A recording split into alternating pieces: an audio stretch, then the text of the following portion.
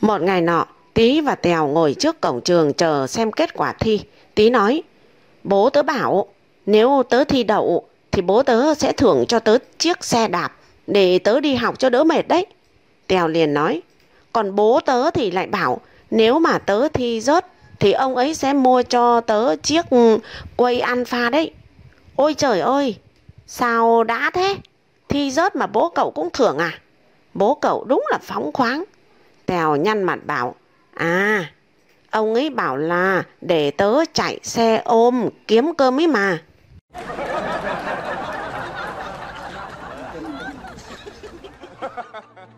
Tại một phòng khám tư, có một bệnh nhân đến than phiền với bác sĩ rằng Bác sĩ ơi, tôi ngủ không ngon giấc.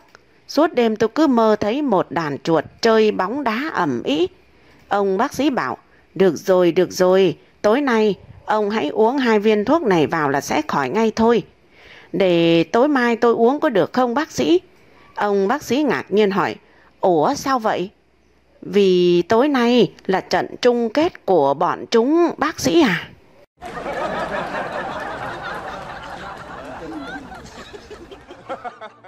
Một người đàn ông liền đến sở cảnh sát. Anh ta yêu cầu cho gặp tên trộm đã lèn vào nhà ông ta đêm hôm trước. Viên cảnh sát tò mò. Ông muốn nói gì với anh ta à? Người đàn ông đáp. Vâng, tôi muốn hỏi anh ta một vài chuyện. Vậy khi nào gặp nhau tại tòa án, ông muốn hỏi gì thì cứ việc hỏi. Người đàn ông liền phân bua. Chuyện này hỏi ở tòa án không được tiện ạ. Vì tôi muốn hỏi anh ta là làm cách nào có thể lèn vào nhà tôi mà vợ tôi không hề hay biết. Vì thực ra ấy, tôi đã luyện tập cả chục năm nay rồi mà vẫn không làm được cái điều đó.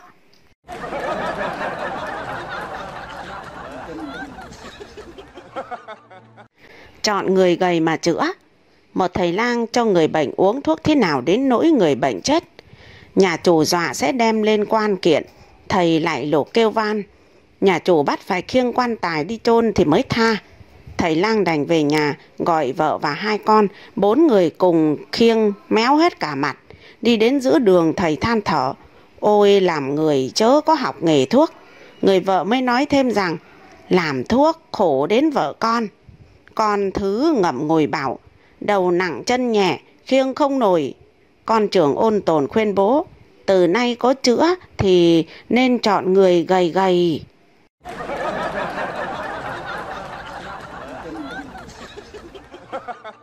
Uống rượu khiến sợ vợ gấp đôi. Một ông luôn bị bạn bè chê cười vì sợ vợ. Bèn tìm đến một người bạn và hỏi làm thế nào để hết sợ. Ông bạn kia mới khuyên. Ông hãy thử uống rượu vào xem sao. Có chút men sẽ làm ông tự tin hơn khi đứng với bà ấy. Vài ngày sau, ông chồng gặp lại bạn và than. Thôi thôi, tôi chẳng dám làm theo cái cách ấy nữa đâu. Hôm trước tôi thử uống rượu và nhìn bà ấy thành ra hai bà, khiến cho nỗi sợ của tôi còn tăng gấp đôi.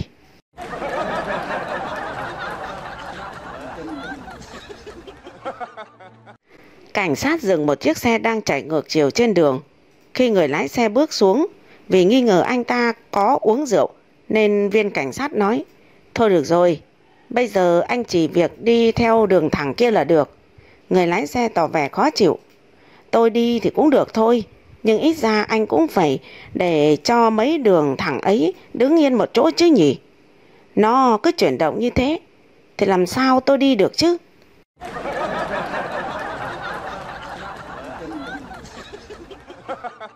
Bị vợ đánh vì lỡ mồm, hai anh bạn hẹn nhau ở quán bia, một anh trách. Sao tuần trước hẹn mà không đến hả? Thì tại lỡ lời.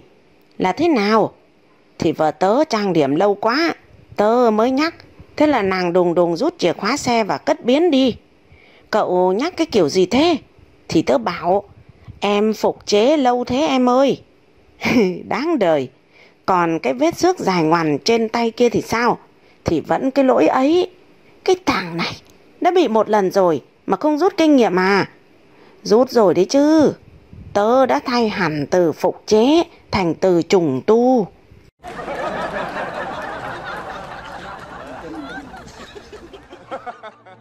Thấy Tô xuất hiện với gương mặt sưng đỏ, tí hỏi, có chuyện gì xảy ra với cậu thế?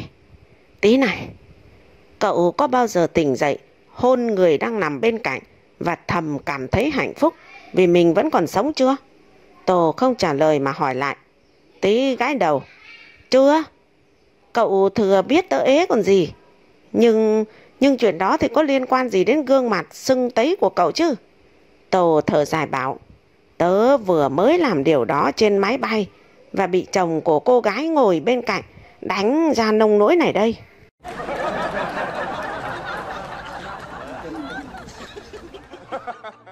Thiếu cái gì nhạt cái đó.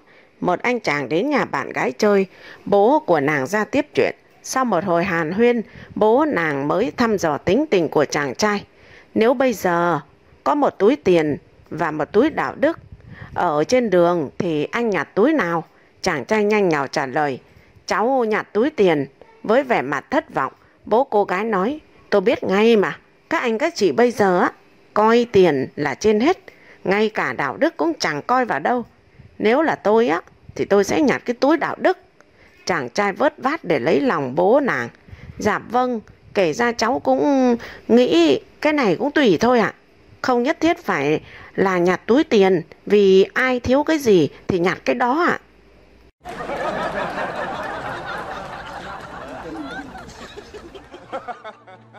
Nàng tiên cá, hoàng tử vừa sạc nước vừa la. Cứu ta hỡi người đẹp, ta sẽ tặng nàng một đống quần áo xịn. Nàng tiên cá nhìn chàng hoàng tử bằng cặp mắt long lanh, truyền cảm rồi nói, Không, tôi ở chuồng quen rồi.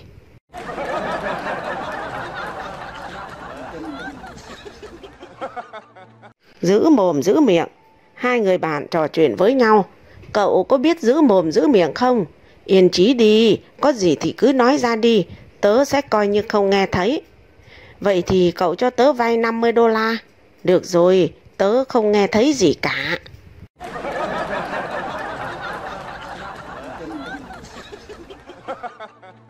Một bà nọ hỏi cô hàng xóm mới, Này cô, đêm qua tôi chiêm bao thấy cô đấy. Hãy cho tôi biết năm nay cô bao nhiêu tuổi để tôi đánh con đề nào. Dạ, em 26 tuổi ạ. Buổi chiều sổ số ra con 36. Bà nọ tức mình cố ý nói cho to. Trời ơi, đúng là cái thứ gái già mà còn ăn gian tuổi.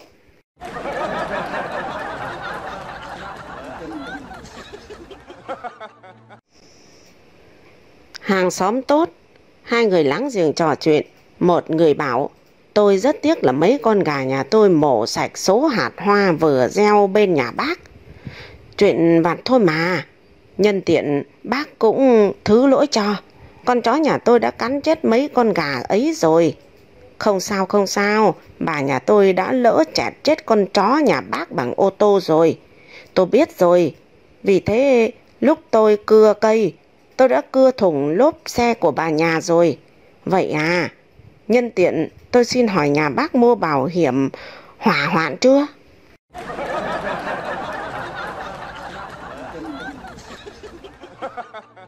Đứa bé uống sữa voi. Hai phụ nữ ngồi buôn chuyện với nhau. Một người nói, cậu có nghe nói về một đứa bé chỉ được cho uống sữa voi mà tăng tới 9kg trong vòng một tuần không? Không thể nào có chuyện đó. Đó là con của ai vậy chứ? Con của một con voi.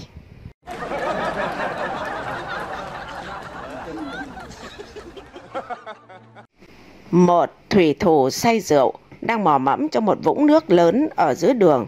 Dường như anh ta đang tuyệt vọng tìm kiếm một cái gì đó. Hai thủy thủ khác tình cờ đi qua thấy vậy liền hỏi. Ê, này, đang làm gì vậy? Người thủy thủ trong vũng nước trả lời. Đừng hỏi, tốt hơn là các anh hãy giúp tôi tìm đi. Thế là cả hai thủy thủ kia cùng lội xuống nước mò mẫm để tìm một thứ mà chính họ cũng không biết là gì. Cuối cùng, người thủy thủ đầu tiên thoát ra khỏi vũng nước và gào lên mừng rỡ. Thấy rồi, tôi tìm thấy rồi.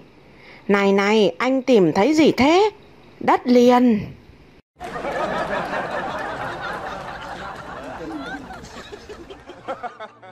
Thôi miên trên xe buýt, một ông cụ bảo với vợ, Hình như tôi biết thôi miên hay sao ấy bà nó ạ.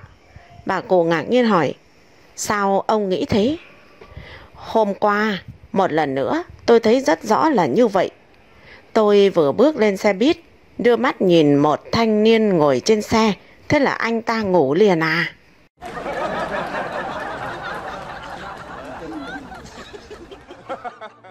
Thế là tốt đấy. Chuyện kể về một nhà vua ở châu Phi, có người bản thân từ nhỏ. Ông bạn này có thói quen khi thấy sự việc gì xảy ra, dù là tích cực hay tiêu cực, đều thốt lên câu, thế là tốt đấy. Một ngày, nhà vua rủ bạn đi săn, người bạn nạp đạn và chuẩn bị mọi thứ. Do sơ suất, khi vua bóp cò súng thì bị bắn bay mất ngón tay cái. Xem xét tình hình xong, người bạn thốt lên như mọi khi, thế là tốt đấy. Bực quá nhà vua quát, thế này mà tốt sao? Rồi quyết bắt giam bạn mình vào ngục. Năm sau, nhà vua đi săn ở một nơi mà ông không biết chỗ đó có bộ lạc ăn thịt người và bị bắt. Chúng chuẩn bị tiệc bằng một giàn thiêu và lúc chuẩn bị châm lửa, chúng phát hiện vua mất ngón tay. Vì tín ngưỡng, chúng không ăn thịt người không còn nguyên vẹn và thế là vua thoát chết. Trở về nhà, vua chợt nhớ chính người bạn đã giúp đỡ mình thoát chết.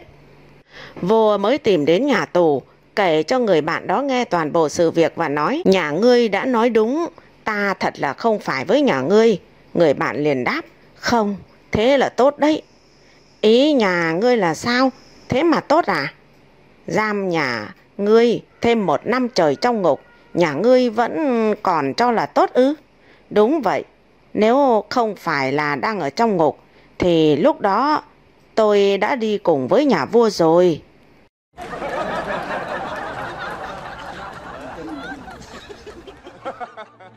Tên trộm lịch sự, nửa đêm, mọi người đang say ngủ, bỗng có một vị khách đến gõ cửa. Chủ nhà lồm cồm bước ra, người khách hỏi, ông ơi, ông có cần củi không? Ồ không, tôi chắc là vậy đấy. Chủ nhà nói xong liền đóng sập cửa, vào giường ngủ tiếp. Sáng hôm sau, đống củi chất trước nhà ông ta biến mất sạch.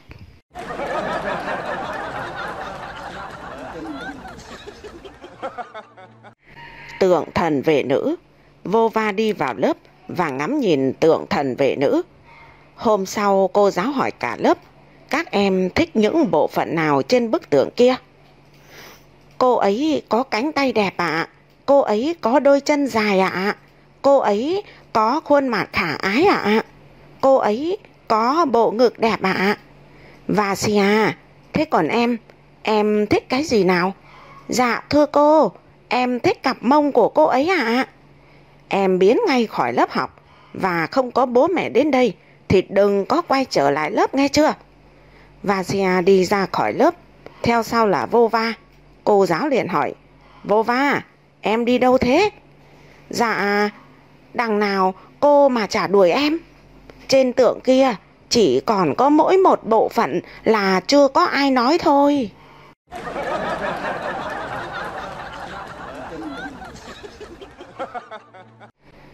Khiêu vũ với bạn gái giữa sa mạc.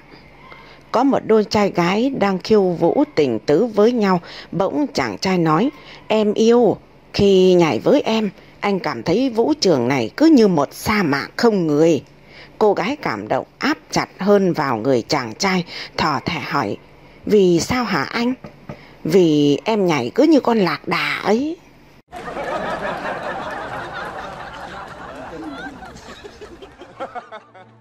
Dấu hiệu của bệnh điếc Một phụ nữ chạy đến cầu cứu bác sĩ Thưa bác sĩ Xin ông hãy cứu chồng tôi Anh ấy bị điếc ạ Bác sĩ hỏi Thế lâu chưa?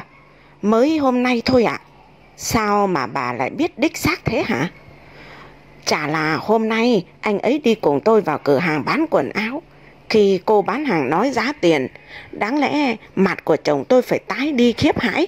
Thế mà anh ấy vẫn tủm tỉm cười, ngớ ngẩn, trông tội tội là.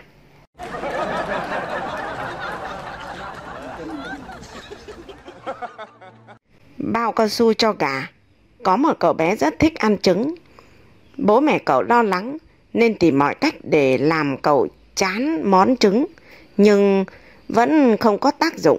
Một hôm, bố mẹ cậu bèn dùng lốp cao su thái nhỏ cho vào trứng tráng để cậu bé không nuốt được. Nhưng đến bữa ăn, cậu bé vẫn cố ăn hết thật nhanh. Rồi sau đó chạy ngay ra ngoài sân có chuồng gà và nắm lấy cổ con gà trống lắc lắc rồi hét lên. Lần sau, tao cấm mày dùng bao cao su nghe chưa?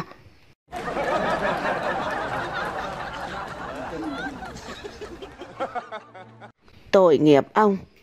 Johnny và Cathy đang ngồi xem tivi cùng ông nội. Đến một cảnh sách, ông bắt hai đứa hãy quay mặt đi. Johnny hỏi tinh quái, họ đang làm gì đấy hả ông ơi? À, người ta đang chữa một căn bệnh gì đó. Johnny quay sang Cathy thì thầm.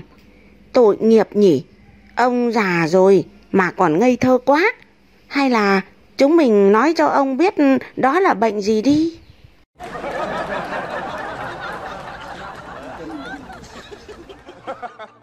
Gái đẹp cũng thua. Anh chàng nọ lái xe lên núi vào lúc sáng sớm.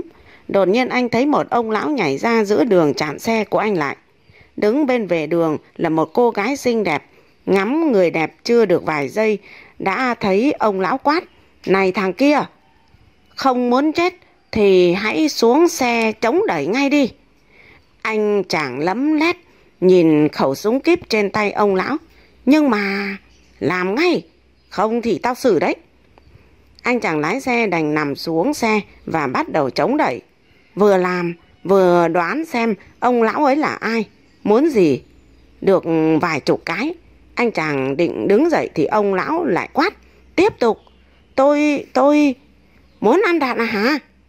Cứ như vậy, anh chàng liên tục chống đẩy suốt gần cứng cả người rồi, nằm vật ra nền đất.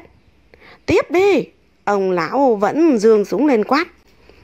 Cháu, cháu sắp chết rồi, thôi bác muốn làm gì thì làm đi. Ông lão nhìn kỹ anh chàng tội nghiệp rồi nhẹ nhàng bảo, tốt rồi, anh làm ơn cho con gái của ta đi nhờ xuống núi có được không?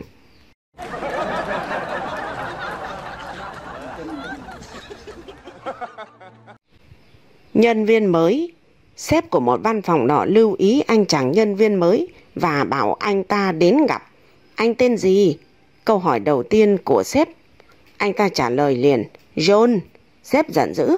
Này này, tôi không cần biết trước đây anh làm cái trò trống gì và ở đâu. Nhưng tôi không bao giờ gọi ai bằng tên cả. Kiểu đó thật là xuồng xã ở nơi công sở nghiêm túc. Tôi chỉ thích gọi nhân viên bằng họ Smith, John hoặc Becker mà thôi. Như vậy có phải là đàng hoàng và lịch sự không? Cũng như tôi, lúc nào cũng là ông Robertson.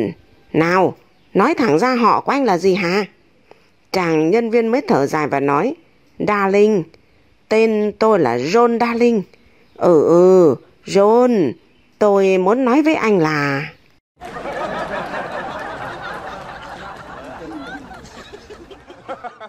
Chỉ vì thích đếm ô tô Viên cảnh sát nhìn thấy một người đàn ông nom có vẻ nhà quê, khủ khờ, đang đếm những chiếc xe ô tô dọc theo một con phố. Hắn bèn này ra một ý định kiếm tiền. Ai cho anh đếm những chiếc xe đang đậu ở lề đường? Điều đó là vi phạm pháp luật, anh có biết không hả? Người đàn ông luống cuống. Dạ dạ, thế hả? Em không biết điều này, mong anh tha cho ạ. Em ờ, em xin lỗi ạ. Tha là tha thế nào? Anh phải nộp phạt, nếu không thì sẽ bị bỏ tù đấy. Ôi vâng vâng vâng, em nộp phạt ạ. Đừng bỏ tù em. Thế phạt như thế nào ạ? Mỗi chiếc xe anh đã đếm thì anh phải trả 2 đô la. Anh đã đếm được bao nhiêu chiếc rồi hả? Dạ dạ, để xem nào. Em đếm được 15 chiếc thôi ạ. Ừ, vậy thì anh phải nộp 30 đô la. Nộp phạt xong, hai người đi hai hướng. Viên cảnh sát lẩm bẩm. Trời, cái thằng này ngu thật. Mình bảo thế mà nó cũng tin. Còn người đàn ông cũng nói, ôi thằng này không biết làm cảnh sát lâu chưa mà lại ngu thế nhỉ? Mình đếm được những 30 chiếc rồi, thế mà bảo là 15 nó cũng tin chứ.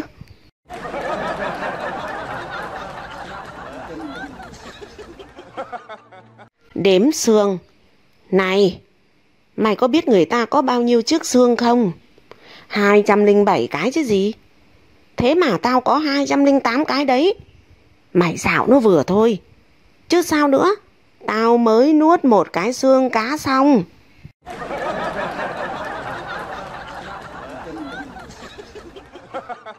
Lòng lợn luộc. Để giúp cho trò tí sửa cái tật phát âm sai, L thành N. Cô giáo bắt tí tập đọc và học thuộc lòng câu, Cu lý lên chợ làng mua lòng lợn luộc. Một tuần sau, Cô tí trả lời, không vấp một chút nào. Cô rất hài lòng khen tí.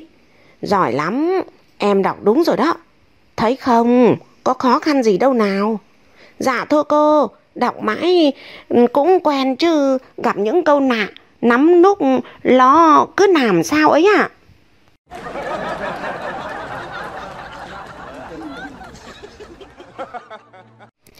Làm gì hôn đó Cô Hoa hậu dẫn đầu đoàn phụ nữ hậu phương đi thăm các thương binh ở quân y Việt.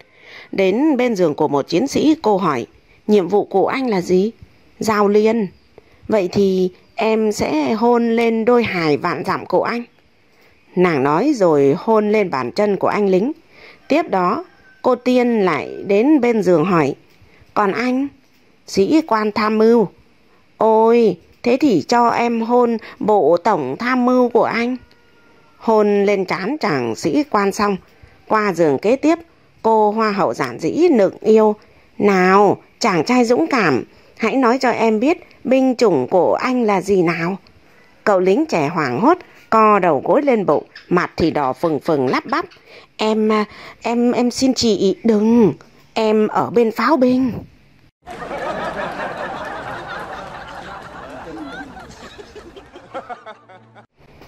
Một cô gái xinh đẹp tìm đến công ty để xin việc. Sau một lúc phỏng vấn, giám đốc nói cô rất xinh đẹp, biết nhiều, chỉ thiếu mỗi tiếng Anh. Cô gái kháng nghị, dạ thưa chú, tiếng Anh cháu đã có bằng C rồi ạ. À? Giám đốc mỉm cười rồi bảo, thế tại sao suốt từ nãy tới giờ cô cứ gọi tôi bằng chú thế hả?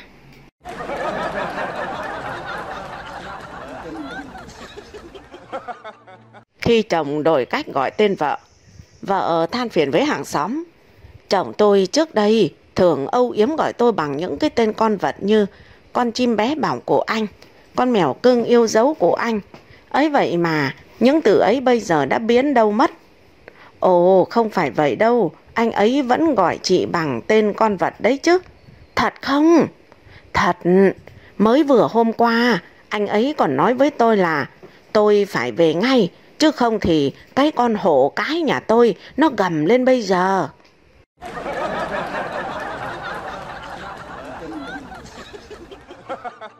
Mở, thầy giáo muốn gợi mở cho bé Molly biết ý nghĩa của chữ kỳ tích. Em thử suy nghĩ xem Molly, nếu có người từ trên đỉnh tháp rơi xuống mà chẳng hề hấn gì, thì đó nghĩa là gì? Là ngẫu nhiên ạ? À? Thầy giáo lắc đầu, không, không phải thế. Molly, nếu người đó lại rơi từ trên đỉnh tháp xuống nữa mà vẫn không bị thương thì gọi là... là may mắn ạ. À? Ồ, em hiểu sai ý của thầy rồi. Thầy giáo vẫn kiên nhẫn tiếp tục. Lần này, lần thứ ba leo lên đỉnh tháp cũng lại rơi xuống nhưng vẫn không hề bị thương thì phải gọi là... À, em hiểu rồi. Như thế gọi là không thể được.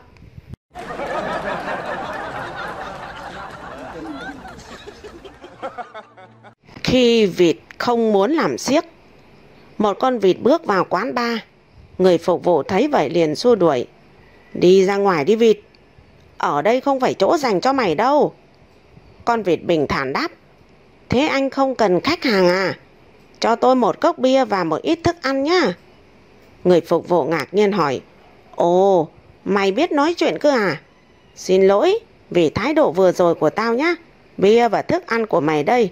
Con vịt nhún vai. Chẳng có gì đâu. Tôi vẫn thường bị như thế. Thật ra tôi đang làm ở một công trường gần đây. Tôi làm công nhân tô vữa đấy. Ồ, thật tuyệt vời. Cứ thế ngày nào con vịt cũng đến uống bia và trò chuyện cùng với người phục vụ suốt gần hai tuần liền. Một hôm, Ông chủ của một gánh xiếc đến quán ba than vãn với người phục vụ về tình trạng ế ẩm của gánh xiếc. Người phục vụ chợt reo lên. Tôi biết một con vịt đặc biệt lắm. Nó có thể nói chuyện uống bia, thậm chí nó đang làm công nhân tô vữa nữa đấy. Nó có tiềm năng trở thành ngôi sao đấy. Rồi gánh xiếc của ông sẽ ăn nên làm ra cho em. Chủ gánh xiếc mừng rỡ bảo. Tuyệt vời sao? Khi nào con vịt ấy tới thì cậu gọi điện giúp tôi nhá. Ngày hôm sau, khi con vịt tới uống bia, người thân, người nhân viên hớn hở nói với nó rằng ông chủ gánh xiếc của thị trấn muốn nhận mày vào làm đấy. Con vịt háo hức nói, ồ thật vậy sao? Tôi cũng đang muốn tìm một chỗ làm mới đây. À mà đợi đã, có phải gánh xiếc là nơi mà có một căn lều lớn thật lớn bằng bạt không? Đúng rồi, đúng rồi, trong đó có nhiều động vật biểu diễn tài năng và rất náo nhiệt. Con vịt ngạc nhiên đáp, với cái lều bằng bạt đó thì ông ta cần thợ tô vữa làm cái quái gì nhỉ?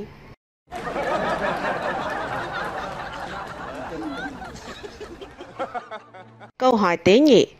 Một phụ nữ có thai lần đầu tiên đi gặp một bác sĩ sản khoa để khám. Sau khi bác sĩ kiểm tra xong, cô ta bẽn lẽn nói Chồng tôi muốn hỏi ông Vị bác sĩ liền cắt ngang. Tôi biết rồi Lúc nào cũng là câu hỏi đó. Anh chị vẫn có thể quan hệ với nhau Cho tới khi sắp sinh. Người phụ nữ thú nhận Ồ, không phải là chuyện đó đâu Anh ấy muốn biết Liệu tôi có thể tiếp tục nhổ cỏ trong vườn được nữa hay không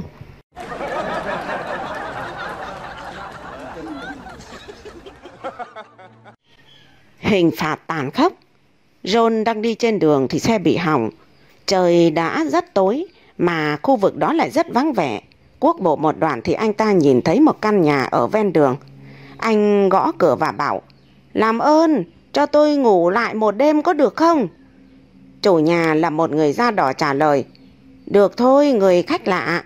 Nhưng có một điều kiện Nếu anh cả gan động vào con gái tôi thì phải chịu ba hình phạt tàn khốc của người da đỏ đấy. Mừng rỡ, John chấp nhận điều kiện của chủ nhà. Thế nhưng, khi vào nhà, anh ta mới thấy cô con gái của chủ nhà đẹp hết ý. Nàng lại nháy mắt đầy ngụ ý với John. Không thể cầm lòng, John quên phát lời hứa. Đêm hôm đó, anh chàng lẻn sang phòng của cô gái. Đến gần sáng, John quay về phòng ngủ tiếp đi. Khi tỉnh dậy, thì có một tảng đá rất to đang nằm đè trên ngực của John với hàng chữ hình phạt thứ nhất, một tảng đá to trên ngực. Xem thường hình phạt, John liền nhấc tảng đá lên và ném nó qua cửa sổ. Ngay khi tảng đá vừa bay đi, John bỗng thấy dòng chữ thứ hai dán trên thành cửa sổ. Hình phạt thứ hai, vật phạm tội bị buộc vào tảng đá bằng dây thừng. Quá hoàng hồn, nhưng lại rất nhanh trí. John liền nhảy ngay qua cửa sổ theo tảng đá. Thân hình vừa rời khỏi cửa sổ, John thấy dòng chữ cuối cùng viết trên mặt đất. Hình phạt trát, vật gây án còn buộc vào chân giường nữa.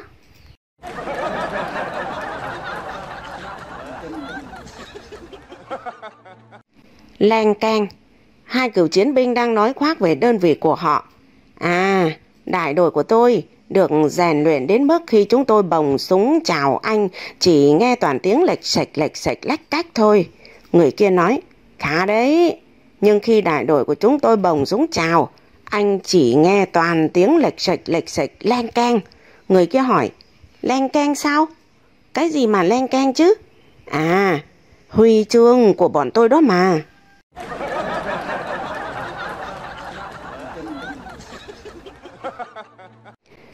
ba chàng nói khoác.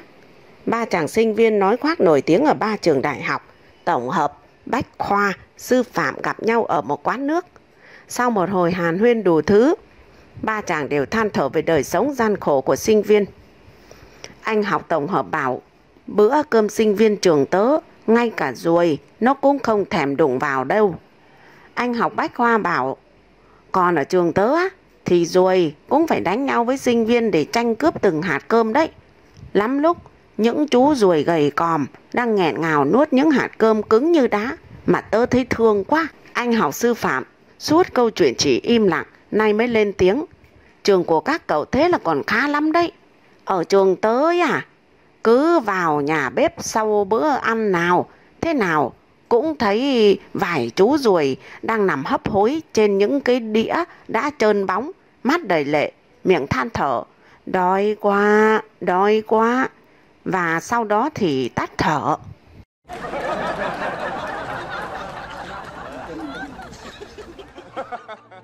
Một giáo sư đại học nọ hỏi một sinh viên trong giờ văn học, em hãy cho biết làm thế nào để phân biệt được một tác phẩm văn học cổ điển với một tác phẩm văn học hiện đại nào?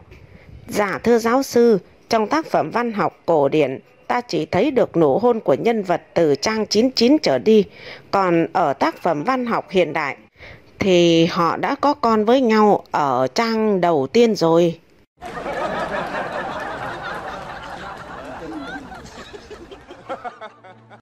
Hai sinh viên ngồi tán gẫu. Một người hỏi, Tèo này, chuyện cậu và em gái lớp bên cạnh thế nào rồi?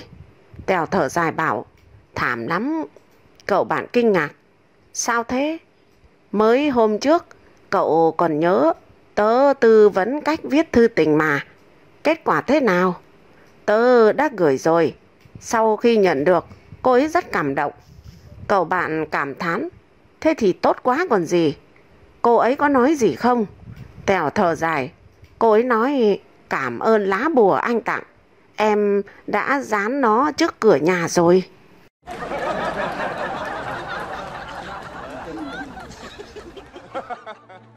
Có một thương gia đi công tác xa hai tuần. Sau một tuần, ông gọi điện về nhà hỏi thăm tin tức. Người quản gia báo, xin lỗi ông, nhưng chó của ông chết rồi. Chó của tôi sao? Làm sao lại có chuyện đó chứ? Bác sĩ nói là nó bị rối loạn tiêu hóa nặng do ăn quá nhiều. Ăn quá nhiều ư, nhưng ông luôn cho nó ăn một lượng nhất định cơ mà. Vâng vâng, nhưng vì con ngựa đã chết, nên có một lần nó tự mò đến cái máng ăn của con ngựa.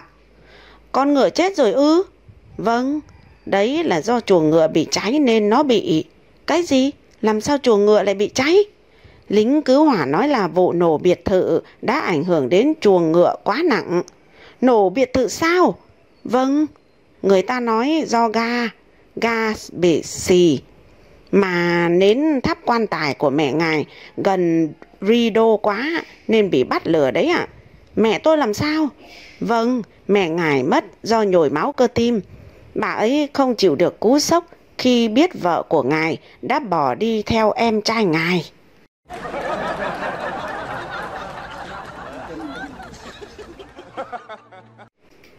Lý do tôi không muốn làm gì hết. Một người có tiền nói với người quen rong chơi lười làm. Sao anh không bán sức lao động đi? Vì sao phải bán sức lao động? Thì để kiếm tiền. Kiếm tiền để làm gì? Có tiền thì sẽ có thể hưởng thụ, sẽ có thể sống nhàn nhã.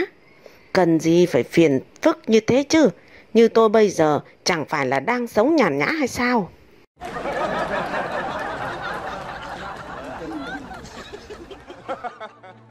Hỏi ông thì biết, bà vợ đi công tác về, đang dọn đồ đạc trong phòng ngủ, thì bỗng phát hiện trên giường có một chiếc quần lót phụ nữ màu hồng.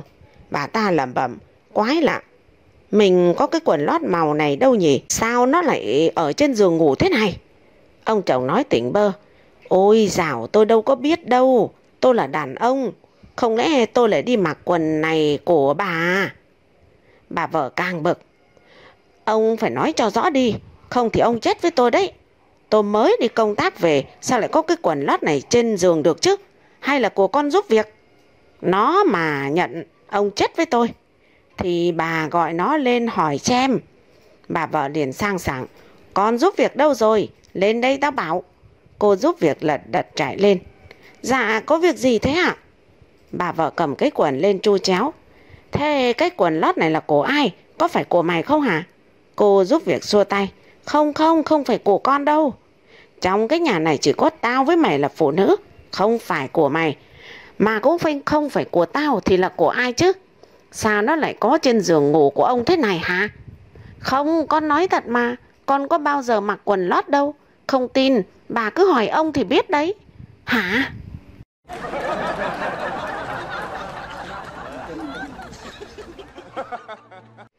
Một nhiếp ảnh gia cho một tạp chí quốc tế được giao nhiệm vụ phải chụp một bức ảnh trong một vụ cháy rừng lớn. Khói tại hiện trường quá dày để có thể chụp được những bức ảnh tốt. Vì thế, anh ta đã điên cuồng gọi điện tới văn phòng làm việc của mình để thuê một chiếc máy bay. Vị tổng biên tập nói với anh ấy rằng sẽ có một chiếc đợi sẵn bạn ở sân bay. Ngay sau khi anh ta đến, một chiếc máy bay nhỏ của địa phương đã đợi sẵn ở đó. Chắc chắn nó đang chuẩn bị để cất cánh, ngay lập tức anh ta nhảy bổ vào chiếc máy bay cùng với các thiết bị của mình và hét toáng lên. Chúng ta hãy đi đi, đi thôi. Viên phi công xoay vào vòng máy bay, vào trong gió và không lâu sau đó họ đã lẫn vào trong không khí. Nhiếp ảnh ra nói, bay qua phía bắc của ngọn lửa đi và vòng xuống ba bốn lần nữa. Viên phi công hỏi, tại sao phải như vậy?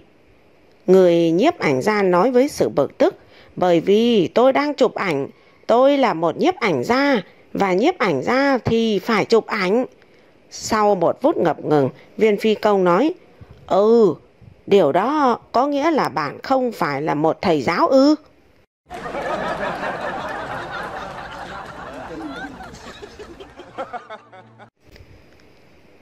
Sinh viên ngành báo mới ra trường đến văn phòng báo chí làm việc.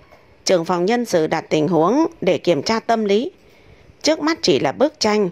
Trên đó vẽ ba người đang bơi trên biển. Xung quanh có rất nhiều cá mập. Một người không cầm gì trong tay. Nhưng người này thì không sợ cá mập. Người thứ hai cầm trong tay con dao lớn.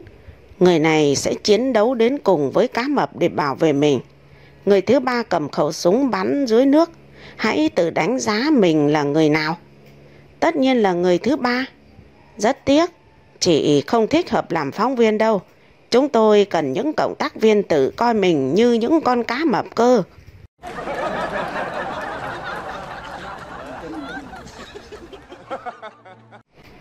Giám đốc cơ quan thông tình với vợ của trưởng phòng. Một lần đang từ tình trong nhà thì anh trưởng phòng trở về.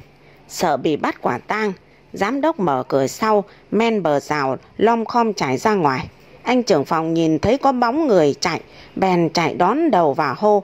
Đứng lại, tao có súng đấy. Giám đốc sợ quá, bèn đứng lại. Anh trưởng phòng chạy tới, nhận ra là thủ trưởng của mình nên nói ngay. Ồ, giám đốc đó hả? Thật xấu hổ, sao lúc nãy ông phải khom lưng mà chạy vậy? Mọi ngày ở văn phòng, ông ưỡn người oai vệ lắm kia mà. Ông giám đốc đứng thẳng người lên và bảo, đúng đúng, tùy từng việc, anh cũng vậy thôi. Sao những lúc anh lên văn phòng, có bao giờ tôi thấy anh đứng thẳng đâu, anh còn khom lưng gấp mấy lần tôi thì có.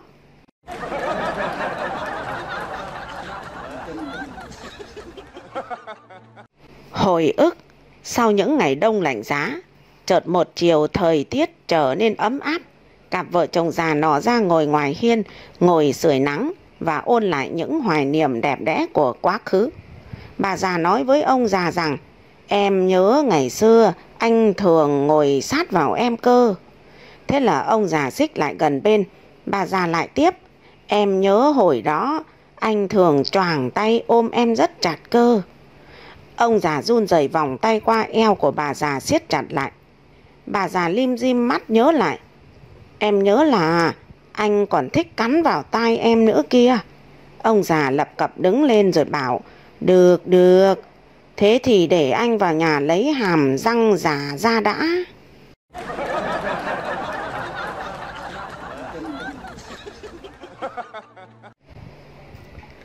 Cách hạ hỏa bá đạo của bà vợ Trong một lần hai vợ chồng ngồi nói chuyện với nhau về những chuyện xảy ra trước đây, chồng bảo, khi anh nổi điên lên với em, em không bao giờ cãi lại. Làm cách nào mà kiềm chế được sự tức giận của mình vậy? Em đi cọ bệ xí chứ diệm làm gì nữa? Anh chồng lại hỏi, thế làm sao mà giảm được cơn giận hiệu quả chứ nhỉ? Thì thì em sử dụng bàn chải đánh răng của anh chứ sao?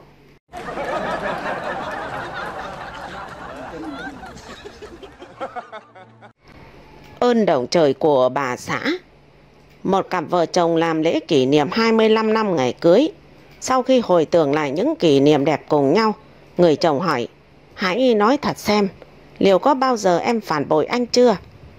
Vì anh đã hỏi nên em cũng xin thưa thật.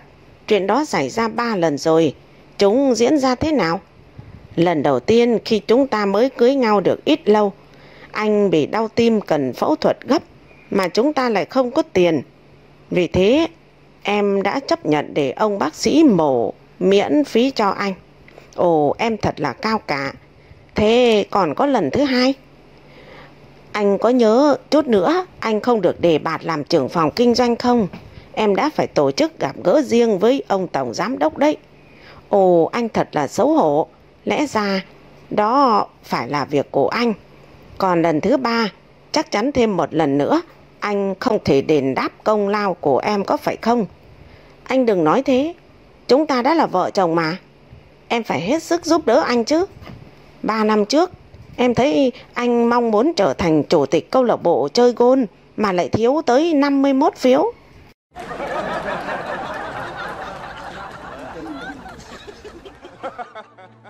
Không thể hưởng thụ. Có một ông cụ 60 tuổi, sau bao nhiêu năm cống hiến sức khỏe cho công việc và sự nghiệp đến giờ về già tích cóp được một số tiền kha khá. Ông quyết định đi Thái Lan để du lịch vì ông nghe nói bên đó mấy cái vụ vui vẻ tươi mát rất là nhiều. Ông muốn thử một lần, cho biết chút vị đời. Sau khi xuống sân bay và thuê khách sạn, ông ta liền hỏi anh phục vụ khu vực nào có vui vẻ tươi mát. Anh ta chỉ dẫn ông rất tận tình. Buổi tối, ông diện đồ láng cóng đi ra khu vực đó. Ông thấy có một ngã ba, có hai tấm bảng chỉ về hai hướng. Một tấm thì ghi là dành cho người nhiều tiền, tấm còn lại thì ghi dành cho người ít tiền. Ông lão nghĩ, thôi mình gom góp có chút ít tiền thì nên đi vào đường dành cho người ít tiền vậy. Ông cắm cúi đi đến phía cuối đường thì lại gặp một ngã ba, trên đó lại có hai tấm bảng chỉ về hai hướng. Một tấm ghi dành cho người trẻ, còn tấm còn lại thì ghi dành cho người già. Thế là ông lại lọ mọ quẹo vào đường dành cho người già rồi cắm cúi đi. Đi đến cuối đường, ông lại gặp một ngã ba nữa. Ở trên cũng có hai tấm bảng. Một tấm ghi là dành cho người đẹp, tấm còn lại thì ghi dành cho người xấu. Ông bụng bảo dạ rằng, ôi mình đã 60 rồi còn đẹp cái gì nữa chứ. Thế là ông đành quẹo vào đường dành cho người xấu. Vừa đi, ông vừa tự động viên mình, Sắp được hưởng sung sướng rồi, dáng lên nào. Đi đến cuối đường, ông lại nhìn thấy một ngã ba. Ở trên lại có hai tấm bảng rẽ ra hai hướng. Một tấm thì ghi, dành cho người dẻo dai và nhiều xí quách. Tấm còn lại ghi, dành cho người hết xí quách. Ông tự nghĩ, mình già thế này rồi, làm gì còn xí quách nữa chứ.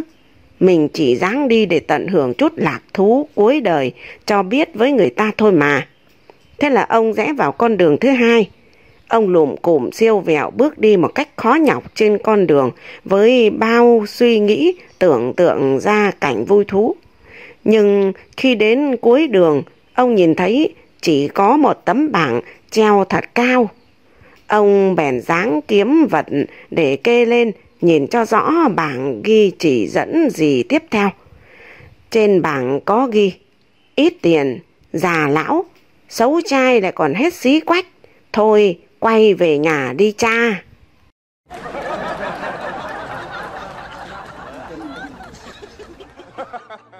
Bà tôi lên thành phố. Bà mình ở quê, lần đầu lên Hà Nội. Mình chở bà đi chơi bằng xe máy. Tới ngã tư, bà hỏi, sao đang đi? tự nhiên lại dừng lại thế hả con? Dạ, đèn đỏ bà ơi, khi nào đèn chuyển màu xanh thì chúng ta mới được đi bà. Bà cười bảo, ra là vậy, ở quê, đường vắng, chả cần đèn, người ta chỉ dừng khi có trâu bò qua đường thôi. Xong bà lại chỉ vào mấy người đang cố bấm còi inh ỏi để lách lên rồi hỏi. Chưa đèn xanh, sao mấy người họ vẫn đi thế hả con? Dạ mấy người đó bị mù màu đó bà. Họ không phân biệt được xanh với đỏ Giống như mấy con trâu con bò ấy bà ơi.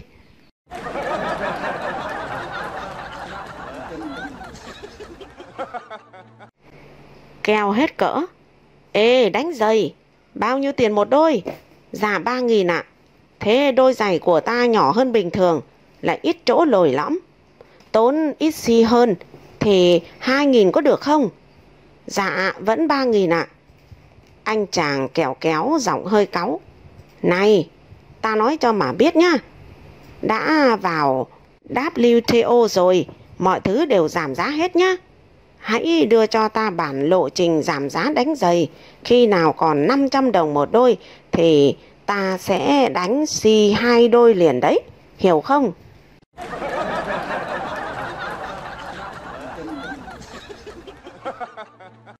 Hai tính cách Một bà mẹ có hai cô con gái Một cô có tính để đâu quên đấy Bỗ bã Còn cô kia thì hễ bước chân ra khỏi nhà thì mặc áo hai dây khoe da khoe thịt. Dạy dỗ con mãi không được, bà than thở với hàng xóm. Khổ quá bà nó à. Tôi có hai cô con gái, đứa nào cũng trái tính trái nết. Là sao? Một đứa thì ruột để ngoài da, một đứa thì da để ngoài vải.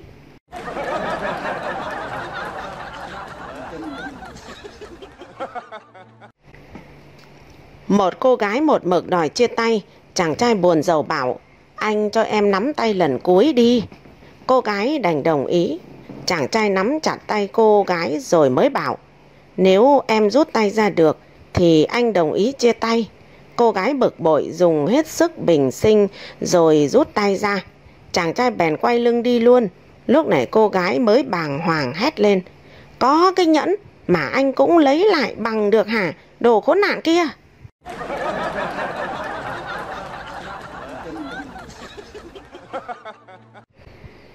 Bạn thân, có một anh chàng đi ngân hàng rút tiền, dừng xe ở bên ngoài. Trước khi vào còn dặn người bạn thân rằng, mày á, mày ở đây trông xe. Nếu có cảnh sát giao thông đến thì mày nhớ báo cho tao biết một tiếng đấy nhá. Cậu kia ầm ừ rồi lấy điện thoại ra nghịch. Quả nhiên vừa vào được vài phút thì đã có cảnh sát giao thông đến. Thằng bạn kia xông vào trong ngân hàng gào ầm lên.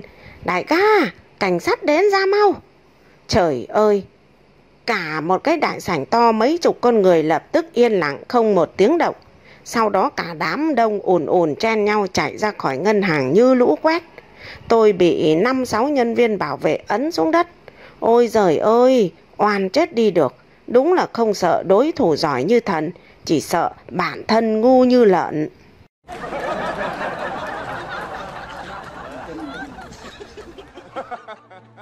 Trong một cuộc thi nữ sinh thanh lịch, ban giám khảo đặt câu hỏi cho Hoa Khôi.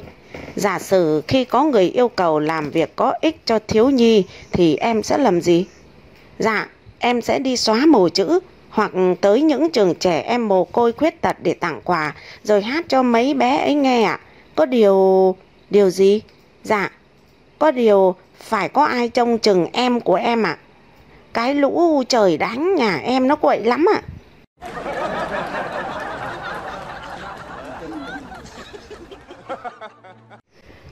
Bố thật xấu hổ vì con đấy.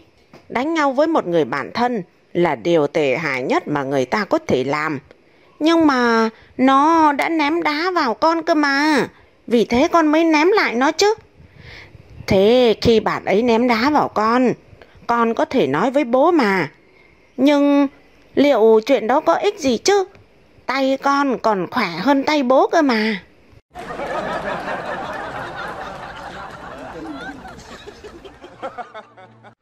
Nay con ngơ ngác. Nhớ một lần bạn gái nhắn tin bảo Anh ơi, hôm nay ba mẹ em đi vắng. Em ngủ một mình em sợ lắm. Em liền chạy ngay đến nhà cô ấy. Đưa cô ấy sang nhà chị gái của em ngủ nhờ một đêm. Nhớ có lần đi uống trà sữa với cô ấy. Bỗng nhiên cô ấy nhìn mình thật lâu rồi cô ấy bảo Anh có muốn thử vị son môi của em không? Không ngại ngùng tôi lấy ngay cây son của cô ấy ăn hết một nửa rồi bảo Son của em có hương vị của dâu tây nè. Rồi một lần nọ tôi chở cô ấy đi chơi. Cô ấy ngồi sau ôm tôi rồi rúc vào lưng tôi rồi nói Trời lạnh quá anh à. Em đã ôm anh rồi mà vẫn còn lạnh. Hay mình tìm nơi nào ấm áp hơn đi anh? Không chần chừ, tôi liền chở cô ấy đến ngay quán nét gần đó. Rồi một lần khác nữa, Tôi dắt cô ấy về nhà chơi. Chúng tôi vào phòng riêng của tôi. Cô ấy ban đầu hồi hộp lắm, rồi sau cũng đỡ. Rồi cô ấy thẹn thùng bảo, anh ơi, hay là anh dùng cái anh đi tiểu hàng ngày ấy, nện em đi anh. Em không chịu nổi nữa rồi. Tuy thấy hơi ngại ngùng, nhưng mình cũng đủ bình tĩnh. Liền rút ngay cái bô ở dưới gầm giường, nện cho cô ấy một cái vào đầu ngay lập tức. Rồi tự nhiên cô ấy giận, khó hiểu thật đấy.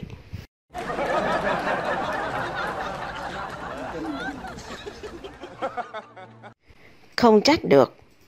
Vợ trách móc chồng. Cách đây một tháng, em đưa cho anh bức thư nhờ anh bỏ vào hòm thư bưu điện. Thế mà bây giờ em vẫn thấy bức thư ấy trong túi áo măng tô của anh là sao? Chồng liền gõ tay vào chán ra chiều suy nghĩ rồi bảo. Thật vậy à? À, anh nhớ ra rồi. Hôm đó đúng là cái hôm anh nhờ em đính vào áo măng tô của anh cái khuy bị tuột bắt. Mà đến tận bây giờ ở đó vẫn thiếu chiếc khuy đấy. Đúng rồi, đúng rồi, anh nhớ ra rồi.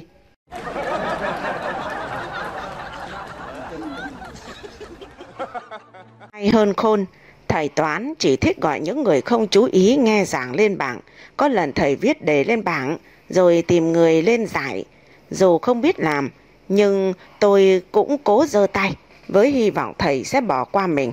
Không ngờ thầy đến tận nơi, gõ xuống bàn bảo, em lên đi. Tôi đau khổ, đẩy ghế bước lên bảng vừa định cầm cục phấn thì thầy gọi, giật lại. Thôi, em biết làm rồi thì xuống đi. Tôi muốn gọi ai không biết làm cơ.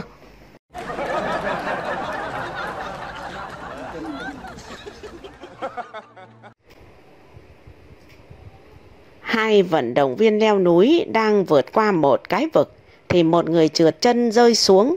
Người kia ngoái lại hỏi, anh có làm sao không? Ở dưới có tiếng trả lời, chưa biết, vẫn đang rơi.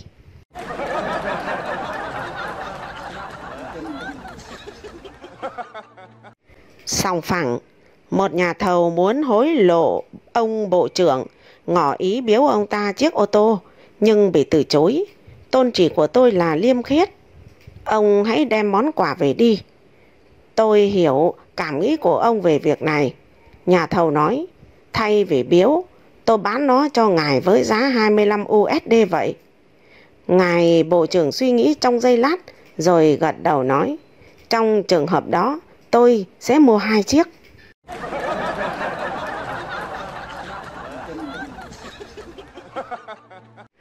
Tuyệt chiêu tăng tốc của nông dân, một người đàn ông trong bộ dạng rất vội vã, chạy đến hỏi người nông dân, thật xin lỗi, nhưng ông có thể cho phép tôi đi băng qua cánh đồng nhà ông được chứ?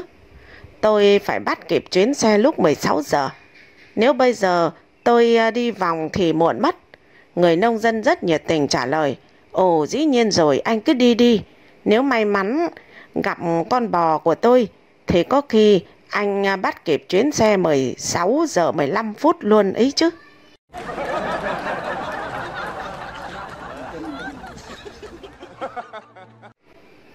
Vợ cằn nhằn, từ hồi lấy nhau tới bây giờ, tôi làm cái gì ông cũng cản. Nào là đừng mua đồ, đừng ăn diện, nào là đừng ngồi lê đôi mách với mấy người hàng xóm. Tôi chán ngấy mấy cái chữ đừng đó lắm rồi. Sao chẳng bao giờ ông nói, ừ mua đi em, ừ làm đi em. Chắc là tôi phải dọn về nhà ba mẹ tôi ở thôi. Chồng bảo, ừ đi đi em.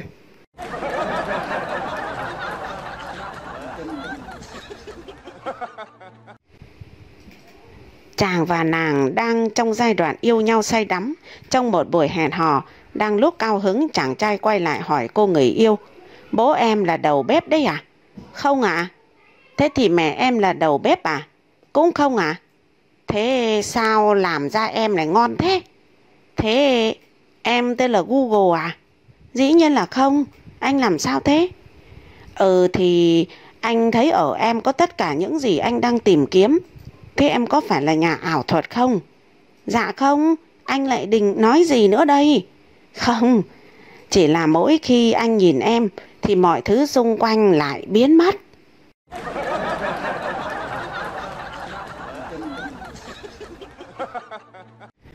Một người vợ trẻ phục phịu nói với chồng, anh chàng diễn viên trong vở kịch tỏ tình với người yêu thật là nồng nhiệt. Thế còn anh, chẳng bao giờ anh nói với em một câu như thế cả. Người chồng mỉm cười giải thích, nhưng em biết anh ta khác với anh rất nhiều mà. Anh ta làm như vậy là được nhà hát trả lương, còn anh thì...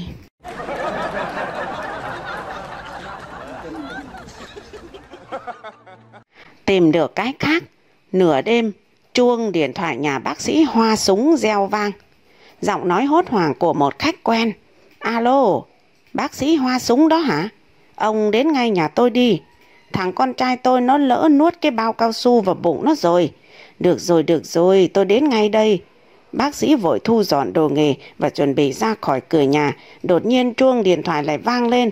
Thôi thôi, thôi khỏi bác sĩ à. Tôi đã tìm được cách khác rồi.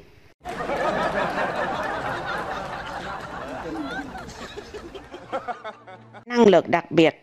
Một cô gái đến xin việc ở trung tâm dự báo thời tiết. Người phụ trách nhân sự hỏi. Cô có được đào tạo chuyên ngành khí tượng thủy văn không? Dạ không thưa ông, nhưng tôi có năng lực đặc biệt trong lĩnh vực này. Cô hãy nêu một ví dụ xem nào. Chủ nhật nào tôi cũng thắng cá ngựa. Mỗi tháng chúng sổ số một lần đấy.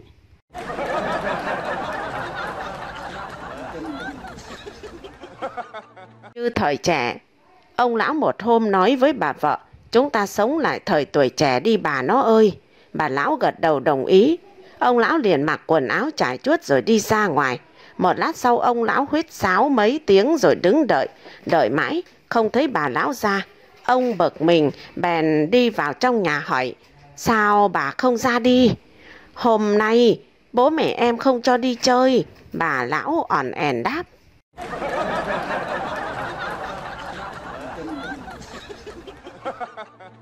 Điên nặng, có một người phản nàn với bác sĩ, người nhà tôi điên hết cả rồi. Họ nhất định nhét tôi vào bệnh viện tâm thần chỉ vì tôi thích tắt sợi hơn tắt ni lông. Thế ư, tôi cũng thích tắt sợi hơn tắt ni lông mà. Người kia hề hà nói, có thế chứ, tôi biết thế nào cũng có người suy nghĩ giống tôi mà. Thế bác sĩ dùng tất sợi với nước sốt cà chua hay là nước luộc gà?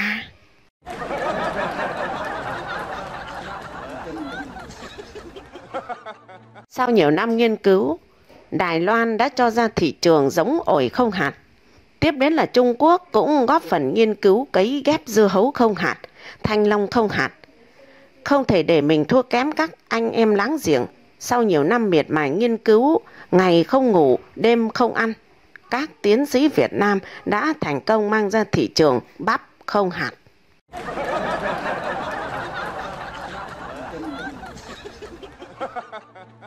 Trong lớp học, để chọn ra một số học sinh cần bồi dưỡng thêm vào dịp hè, thầy giáo liền hỏi cả lớp, trong lớp ta có ai nghĩ mình rốt thì đứng lên nào. Cả lớp ngồi yên, cuối cùng tí uể oải đứng dậy, thầy giáo mỉm cười bảo, chà, dũng cảm đấy tí à, tại sao em lại nghĩ rằng mình rốt chứ? Tí uể oải đáp, dạ thưa thầy, em không nghĩ như vậy đâu ạ.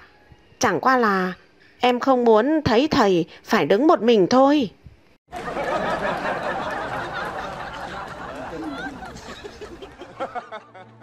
Một người đàn ông mặt hầm hầm dắt theo một con chó hùng hổ chạy đến cửa hàng bán thú nuôi phản nàn với ông chủ rằng Này, ông bán cho tôi con chó này và ông khen nó nức nở không ngớt lời. Thế mà tối hôm qua kẻ trộm lẻn vào nhà tôi khoáng mất hết 300 đồng mà nó có sủa lấy tiếng nào đâu.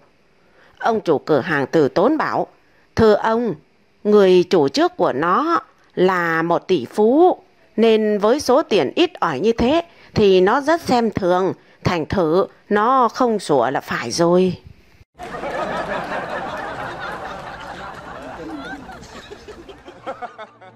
Người mẫu chạy mất. Cô giáo gọi Thomas đứng lên khiển trách. Bài văn tả con chó của em chữ rất xấu, giấy bẩn và chưa làm xong. Tại sao thế?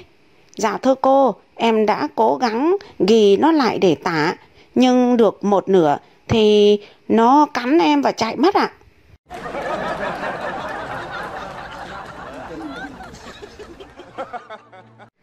Hai vợ chồng nọ đang ích ích trên tầng 2, bà mẹ chồng gọi với lên. Các con ơi, anh Mạnh lên chơi nhá. Người vợ nghe thấy thì bảo chồng, anh mạnh lên.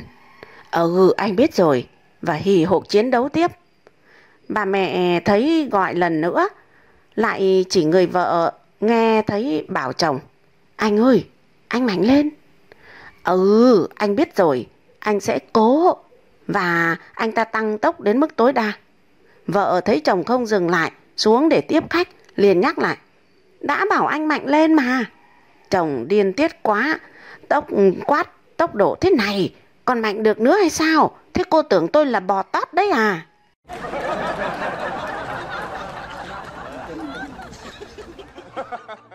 Một ông già đi chiếc xe đạp cả tàng. Ông đi ngang qua gặp một cô gái ông liền hỏi. Cô ơi, từ đây đến Hà Nội cách bao xa cô nhỉ? Cô gái liền trả lời. Dạ, cụ hỏi đường đi bộ hay đường chim bay ạ? À? Ông cụ đáp. À, tôi hỏi là hỏi đường chim đi xe đạp.